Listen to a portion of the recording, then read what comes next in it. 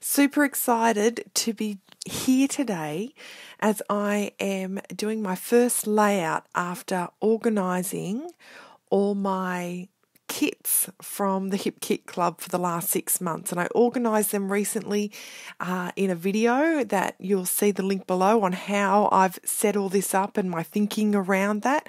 And so I thought, right, I'm going to do a layout and I'm going to see if this kit busting uh, organization system is actually going to be functional. And do you know what I found? Yes, it was. It was a great idea. The way I sorted it and the way that I sort of had it on hand made it really easy for me to do a kit busting layout, which is what I'm going to share with you today. I'm sharing this go- well I'm going to create a layout of this fu- super fun gorgeous photo of my husband. He loves to mountain bike ride and rain, hail or shine he will be trying to get on his bike. So this particular photo is him he'd reached the top of a mountain and well a, a, little town on the top of a mountain and it was pouring rain and he was covered in mud and he snapped this photo for me, and I couldn't help but make this the first kit busting layout. And it was really tricky because I've got all these beautiful girly papers, and this is a layout that I wanted to, you know, create a little bit of a masculine feel. So I decided I'm going to give this a go. I'm going to see how I can do it. I just want to have fun. This was wanted to be a quick layout, no stress, just grab out some papers and put something together really quickly and that's what I've done for you to share with you guys today. Now, I as when I was I want you if you haven't had a chance to watch my kit busting setup, um, what I did was I sorted all my past kits into bright and sort of more subtle tones, more vintage tones. So I had sorted my papers that way and my embellishments, which made it really easy when I looked at my photo and saw that it's a really bright, happy photo. That I went, okay, I'm pulling out my brights embellishments, my brights papers, and I'm only going to draw from that. Uh, the other thing I'm really going to try and do with my kit busting layouts is to really really maximize my scraps. So every layout is going to have some some form of offcut or scrap that I've used on part of on a previous layout. And you saw that there in the beginning where I had a dog clip full of um, just offcuts. And here they are. You can see me trying to use some up there. And I really want to sort of push myself. It's so easy to cut into a new piece of paper, but I really wanted to try and push myself to use scraps and to sort of, um, you know, not be wasteful. Um, I, I, in the past, I'd often make cards out of my scraps, but I tend not to do too much card making anymore. So I'm going to really going to try and uh, use these scraps up with layers behind my photos or layers behind my embellishments and see how I go there. And that's what I'm doing here now. I thought I'd just run some layered pieces along the top and bottom of my layout and see if I can build a bit of a cluster there that will sort of, you know, enable me a, a, pretty space to put some journaling or my title, which you'll see me do in a second there. So just some simple tearing of some scraps and as you can see I'm just layering it in having a little bit of a play to make a cluster there. And although that, you know, it's a bit higgledy piggledy, the colours don't tend to match perfectly, it still seems to have come together okay. And, you know, I'm not going to be stressing. I'm not going to. This is about fun. This is about kit busting.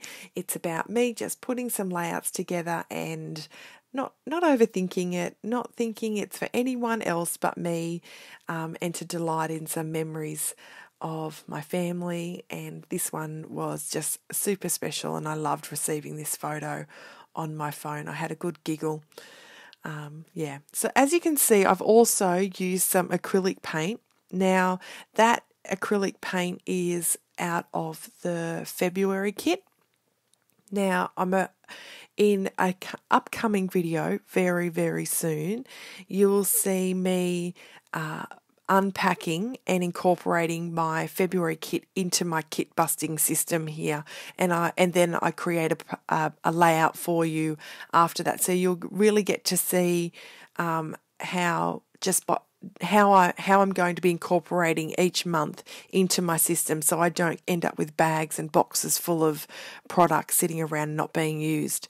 So I'm hoping that over the next 12 months this is really going to be something that I really enjoy doing and it's my really easy go-to, especially if you're heading out going to retreats or crops. How easy is it just to grab these papers and embellishments that are all set up in brights and vintages and pop them in your tote and off you go, ready to go with some photos. So that's what um, in an upcoming video, keep an eye out for that one. You'll see me incorporating the February kit into my system, but I had to sneaky that yellow paint in, which I know it's in February and I haven't incorporated it officially yet into my kit busting, but I into my kit busting system. I knew that I wanted to sort of tie in some yellow, and it really sort of picked up that photo there with that um, yellowish sort of house or hall that's in the background there, and the and the tones. I love this Yay paper from Crate Paper. Um, I never, when I first saw it, never even considered fussy cutting that. And usually I'm a fussy cutting freak and can spot a fussy cutting page a mile off. Um, but this layout, I thought, oh my goodness, I'm going to fussy cut those out and sort of, it's not going to be my main title, but it's certainly going to have a little bit of pop there on my layout. And um, I was sort of sitting them there. I didn't really know what I wanted to do, but I just knew that they were fun and they sort of had some masculine tones around it the oranges, the yellows, the blue, the teal. So I was trying to pull out some kinds of those tones just to really um, give this a little bit of a boy flair there. So just fussy cutting those out. They don't end up staying there. Um, you'll see me slide them off shortly and um, and we'll pop them somewhere else um, as we go. So, what are you thinking? How how are you feeling about um, you know how this is coming together? Do you like to use your scraps up? How do how do you keep them? How do you store them, or do you just um, throw those scraps away once you're finished with them? Um, I'd really love to know your thoughts and, um, and and any ideas on how you use scraps up would be greatly appreciated because as you can see my pile's getting a little thick. How cute are those? They're they're not puffy, they're sort of like an enamel finish on them. They're nice and thin, super sticky, so you're not too worried it's gonna come off like some puffy elements I I like to put a bit more adhesive on the back because I'm worried that they're going to slip off uh, eventually. These that adventure super stuck down there, and I was not worried about that. And I love how that long scripty font just runs across that page, and it ties in some of the the black stripe with the little black tones on his um, outfit, and of course, just incorporating those darker tones is another way of you know, keeping this layout a little bit more masculine. Speaking of masculine, though, I thought these flowers were a must. okay, so I know you're thinking, Lauren, flowers are not masculine at all, but I thought I really. He look, he was up in the bush. he's riding, he's getting muddy, and these flowers, they have the reds and the greens and the orange is sort of like they're dull. Well, they're not dull, but they're sort of a matte, muted color palette. And so I thought I could possibly get away with it. Let me know in the thoughts whether you think that I've gotten away with these flowers on this layout. I also thought the type of flower it is also is something a little bit more wild as opposed to a rose or something really delicate and sweet. So I thought I think I'm going to try and try and get away with with it. I probably could have cut those larger leaves off down the bottom maybe. I'm not sure. I'm not sure. But I thought the oranges look it pulls in his helmet there. Um, so the colours were working for me. Uh, I haven't shown him this layout, so I guess the true test will be when my husband actually sees this layout and whether he makes a, a comment on that flowery cluster that's highlighting his gorgeous face. Let me know in the comments whether you think it's a thumbs up or a thumbs down, whether these flowers work on this page or not. But do you know what? I was just going with it. I really want, I, I thought, okay, I've got to pull in some darker elements here to try and sort of tone the girliness down. So I grabbed some sort of these gorgeous puffy, um, they're Hip Kit Club exclusive stickers that were, I think, they must have been probably in November's kit last year. Time flies. Monthly kits arrive all the time. It just seems you know, so I can't kind of remember exactly when that those puffies came out, but they're just gorgeous and they're darker. So I thought I'd pop some darker elements on there just to sort of man it up a little. we'll see how we go. Here I am just playing around with where I think these yay should go uh, he this this ride that he goes on where he ends up in this town, a little town called Comboyne. It's a big one. It is um, a really high elevation, and I worry about him when he rides. the The tracks that they go on aren't particularly safe, um, so but it is a big achievement for him. So I try to try to encourage you know safety, but just let him trust that he's going to be okay and hopefully I can find him if he ever came off his bike. Fingers crossed that doesn't happen.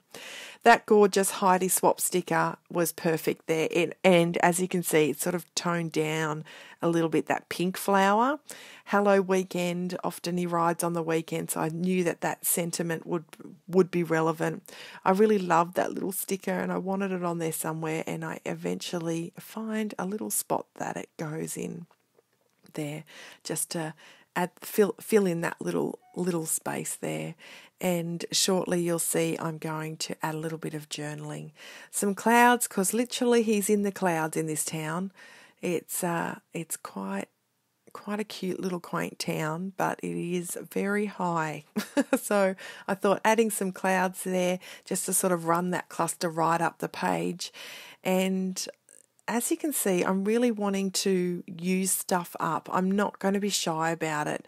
I'm I'm going to sometimes you hoard those special little elements and you don't want to use them, but I'm not going to. I am soon that this up another layout that I've got coming up for you guys where I'm kit busting. I'm I'm going for it as well. I'm putting all those special little things that you think I'm going to save for something. I'm gonna I'm gonna pop it on and I'm gonna use these kits up because I know this is kits are going to keep filling. Just adding some journaling on to finish the layout, and I hope you re- guys really like it. It's a little bit higgledy piggledy. The colour palette's a little bit over there, but I had fun putting it together and it felt good to really do some kit busting. Uh, if you really like my layout, my style, check out my other process videos if you're new to my channel and give me a like and subscribe. I'd really love that. Share it with your friends, that would really help my channel as well. And yeah, there it is. Okay, guys, take care. Ho- have fun kit busting, and I'll be back real soon with another video for you. Bye.